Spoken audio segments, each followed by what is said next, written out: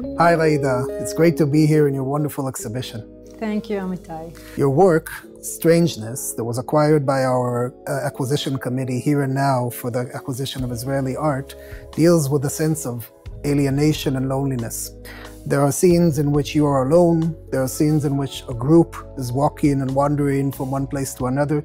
Can you tell me about how the work was born? Is it a continuation of other works that you did before? Uh, yes, my video art was born uh, out of uh, emotions uh, that I felt uh, then and now.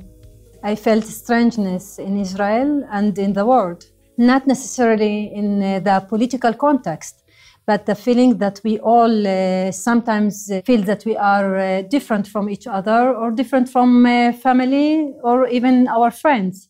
I believe that every work is a continuation of previous ones.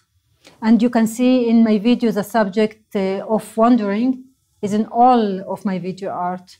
But in this uh, video, uh, I put an element of being alone and not part of a group. I'm observing, watching what will happen. I'm alone in my suitcase, and my suitcase has become my home.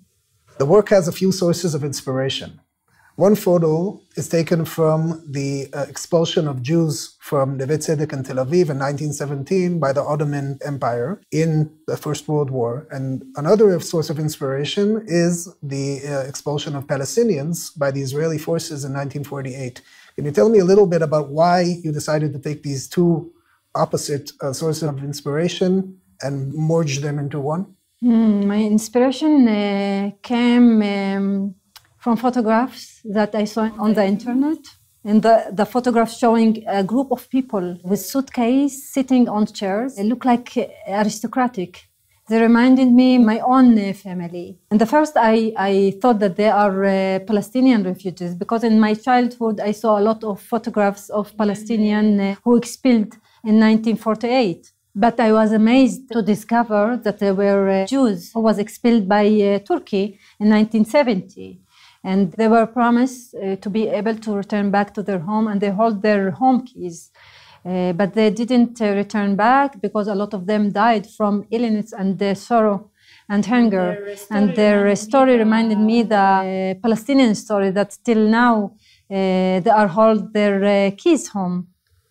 And it was important to me to combine the two stories because it's it's similar um, and uh, for me, I felt that history repeats itself. What message does this work carry? Is it specifically about the Palestinian Israeli situation or is it a universal message? In my video, I have a human message.